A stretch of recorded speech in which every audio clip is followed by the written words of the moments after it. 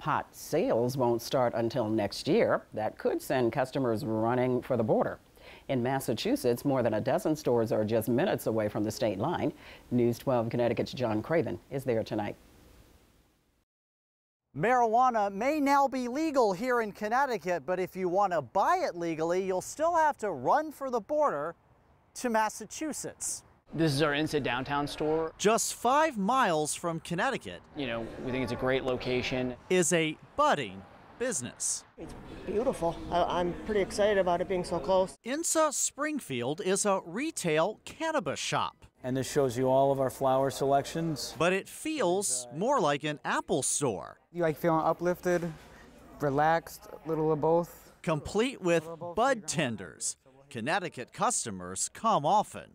About every two weeks at least. Like Connecticut, the industry here is steered toward social equity applicants. But the process can be mired in delays. It took us three years, uh, or four years rather, before we were operating. So if that's any uh, testament to how difficult it is to get it up and running. So far, Massachusetts police report few issues with drugged driving.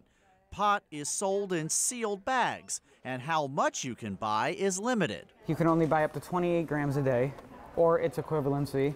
So I can only sell you five of these. Also, this weed comes with a warning.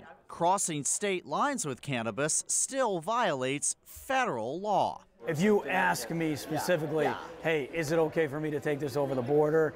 Then we'll explain to them, you know, it's not. No, I never worried about it. That's not stopping Jennifer Flora, but she'd rather spend her cannabis cash in Connecticut. I don't see any problems. I don't see people all stoned out everywhere. They're just using it to get that enjoyment. Any, the same as, you know, you drink a beer. So how much longer do you have to make this drive?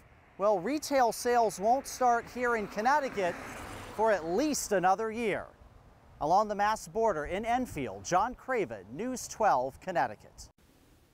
Here is a look at the cannabis industry in Massachusetts by the numbers. The Bay State has 341 stores, but only a quarter are considered disadvantaged business enterprises. Those businesses are owned by ethnic minorities, women, LGBTQ owners, and veterans.